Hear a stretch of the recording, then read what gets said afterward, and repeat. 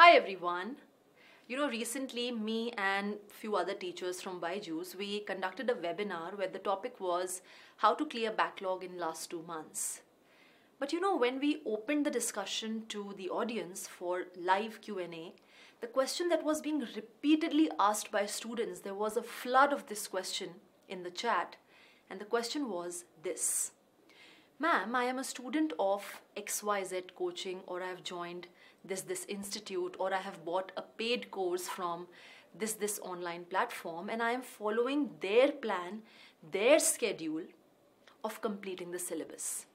And what seems to me is that the syllabus is going to be completed pretty late. But now that the JEE main exams are fast approaching, they're almost here, I am thinking that I'm going to stop going to these classes.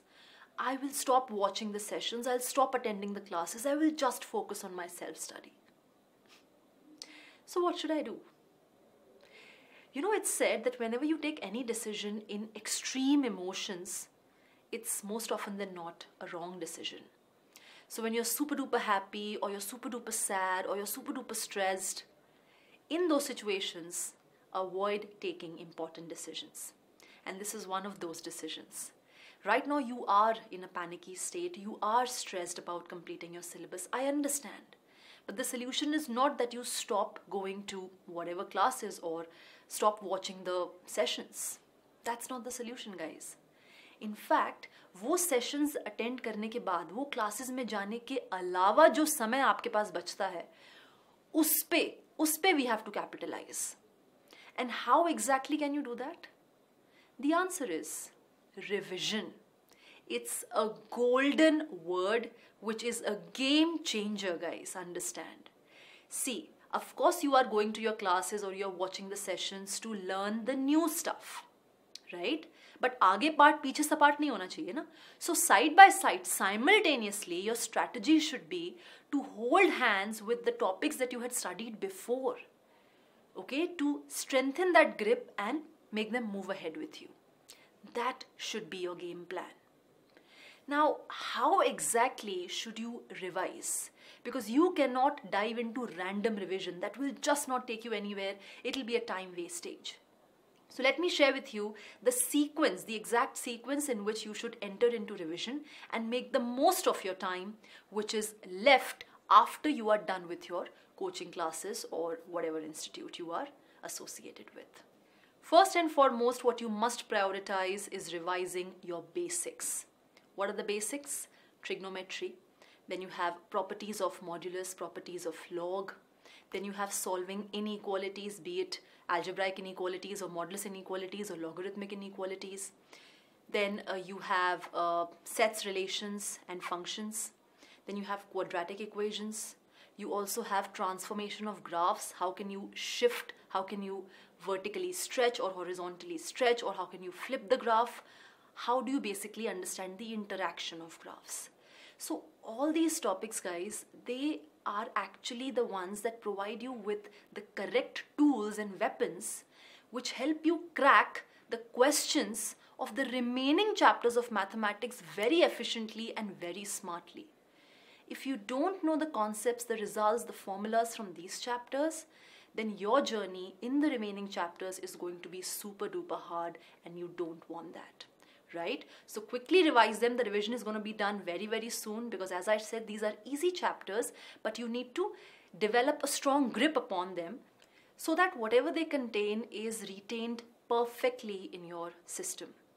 That's why I say these are the basics, these are the fundamentals, they act as the foundation of the entire syllabus. So if the foundation is weak, your building cannot have a long life. So step number one is to make your foundation strong. Of course, to prepare them, you can visit your class notes, your session notes, or you can maybe watch the one-shot sessions. And after you're done with that, you can uh, visit some module or assignment that you have or any good book that you are following to expose yourself to some great variety of questions so that these concepts become very, very strong in your head. Okay? Now, once you're done with the basics, we move on to the core, which are the core chapters. And the idea that we'll follow to revise the core chapters is that we'll revise those chapters together which are interlinked. okay, which have a connection among them.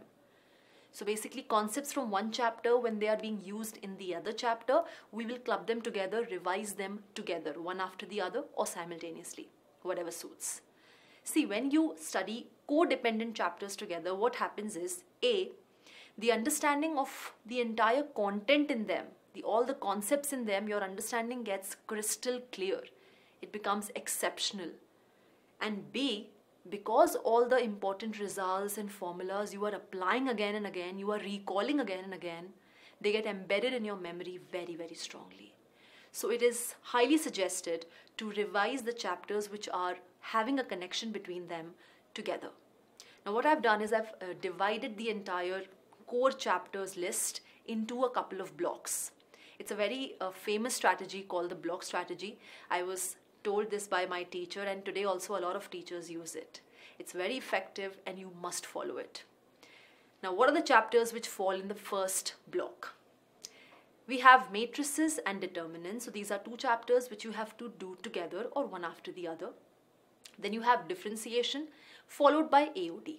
So, these two you have to club together and do them together one after the other.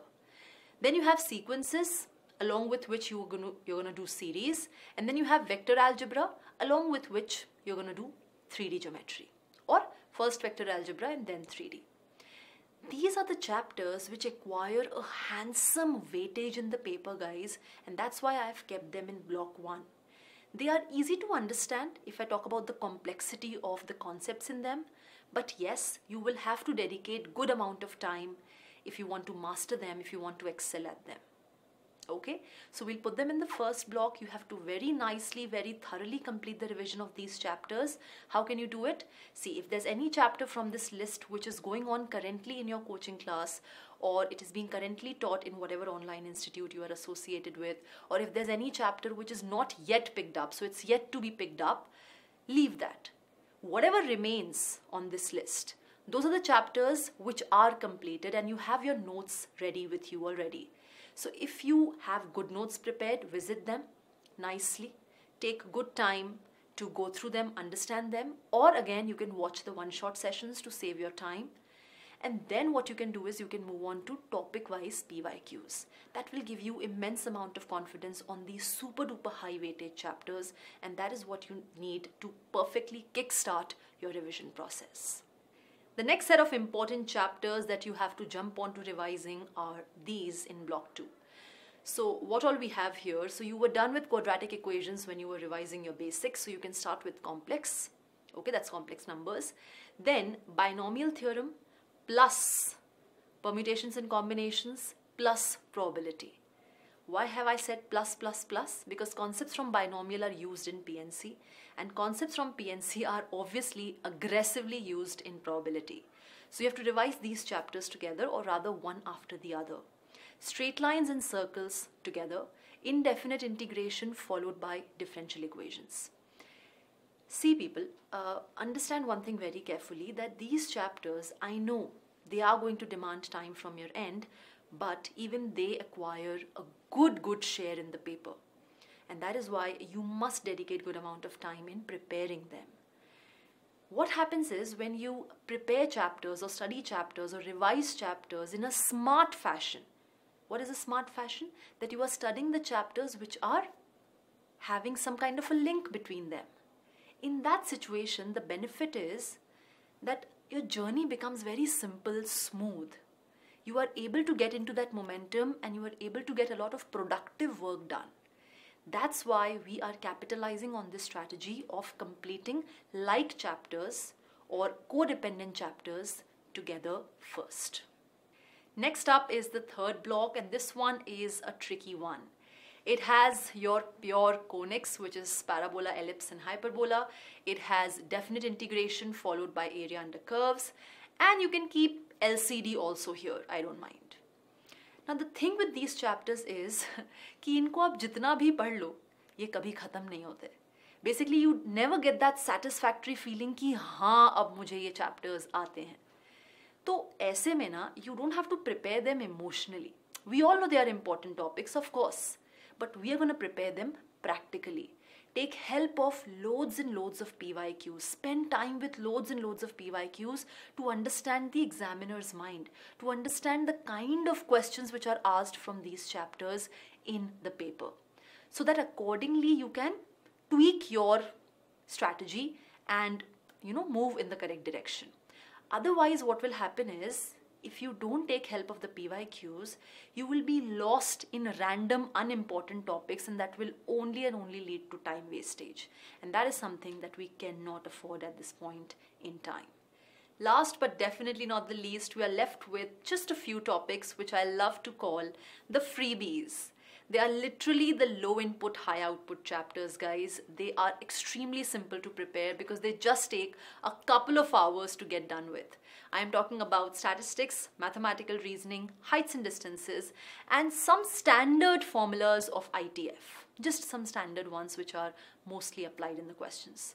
So these are some topics which are so simple and so easy and so less time consuming that either you can get done with them right in the beginning, your choice if you want that boost that you okay, okay, I'm done with three chapters, wow or you can push them towards the end. When you're done with the core chapters then you can opt to do the freebies because they are really really simple to master. Or if there are days when you are very tired exhausted not very well not in the best state of energy not very high spirited then you can opt to do these chapters they're going to get done at that moment and you will also not feel guilt of not studying anything okay so this was the sequence of the chapters in which you have to do your revision of the syllabus. I have tried to take majority of the topics that are sufficient to help you crack 70 to 80% of the mathematics paper. Alright, now three disclaimers before I leave guys. When you are revising, and in that particular moment if you are practicing some questions if you are solving pyqs make sure it is time bound. So keep a stopwatch in front of you. It will help you regulate your time management and it will help you become better at balancing speed with accuracy. It's a very important skill. We have to have to master it. Number 2 while revising a particular chapter whenever you come across any important result or formula or theorem or concept or idea or shortcut or trick which you feel is getting used multiple multiple times across chapters that means it's important. So write it down in a short note you know that uh, little uh, those colored notes that we get now that note pad. You can use those papers to write those formulas or you can use flashcards or just a formula sheet. Basically the idea is to keep that handy near you so that whenever wherever you need them you have their access. All right? It's very very important. Also once you write these things by your hand uh, you know it gets better imprinted in your system and last but not the least is the third point oh my god this is so important once you are done revising a particular chapter so you've crossed all the stages you've studied its theory you've solved its dpps the module the assignments uh, then you've uh, also solved PYQs based upon it. You've also given a couple of mock tests. And now you are confident that, okay, yeah, everything is done from my side.